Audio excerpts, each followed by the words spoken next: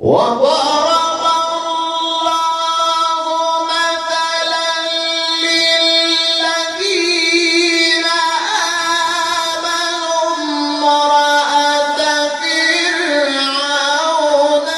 السلام علیکم ورحمۃ اللہ وبرکاتہ۔ ناظرین گرامی میں دوبارہ آپ کی خدمت عالیہ میں حاضر ہونے کا شرف حاصل کر رہا ہوں۔ آج کے ہمارے اس پروگرام کا عنوان ہے کہ ایک ایسا عمل کہ جس کا انجام دینے کے بعد میں آپ کا محبوب خود بخود آپ کی طرف ہاتھ بڑھائے گا۔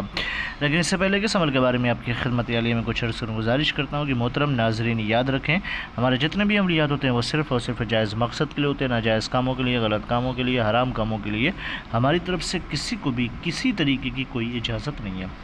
یاد رکھیں ہمارا سینٹر، روحانی سینٹر، ہم ٹونا، جادو سپلے بلیک میجک، شیطانی عمل کے ذریعے سے کوئی بھی عمل انجام نہیں دیتے۔ محترم ناظرین، اگر آپ کسی سے عشق کر رہے ہیں اور آپ کی محبت جو ہے، پکی محبت ہے، سچی محبت ہے، عشق صادق ہے اور آپ چاہتے ہیں کہ وہ آپ کے ساتھ ہو جائے اور آپ کی محبت آپ کو مل جائے تو اس کے لیے اس تعویذ مبارکہ کا استعمال کرنا ہے۔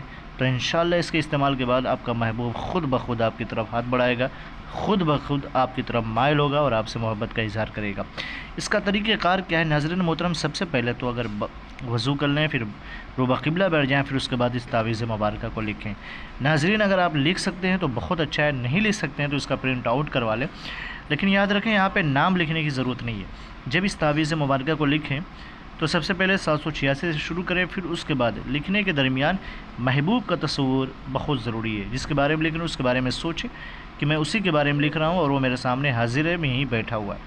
جب یہ تعویذ مبارکہ پوری ہو جائے تو اس کو کپڑے میں لپیٹ کے گرین کپڑا یعنی ہر ایک کپڑے میں لپیٹ کر کے اپنے بازو میں باندھ لیں۔ انشاءاللہ تبارک و تعالیٰ آپ کا محبوب آپ کی طرف ہاتھ بڑھائے گا، آپ کی طرف خود بخود رجوع کرے گا اور آپ کی محبتوں میں دیوانہ ہو جائے گا۔ بہت ہی پاورفل اور بہت ہی مجرب عمل ہے، اس کا استعمال کریں۔ ناظرین محترم، کسی بھی دن، کسی بھی وقت اس کا استعمال کر سکتے ہیں۔ یہ جمالی عمل ہے، جلالی نہیں ہے۔ اجازت کے لیے شرط والے کمنٹ میں جائیں اور جا کر کے یا اللہ یا محمد لکھ دیں، ہماری طرف سے آپ کو اجازت مل جائے گی۔ پھر ملتے ہیں دوسری نشستیں میں، تب تک کے لیے خدا حافظ، اللہ حافظ، السلام علیکم ورحمۃ اللہ وبرکاتہ۔